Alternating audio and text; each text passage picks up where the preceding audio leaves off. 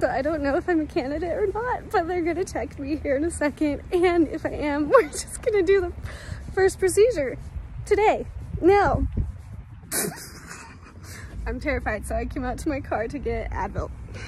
Abby is gonna take care of me, and I'm freaking out because she said I was a candidate. I just got my first laser treatment session done, and guys. It wasn't terrible.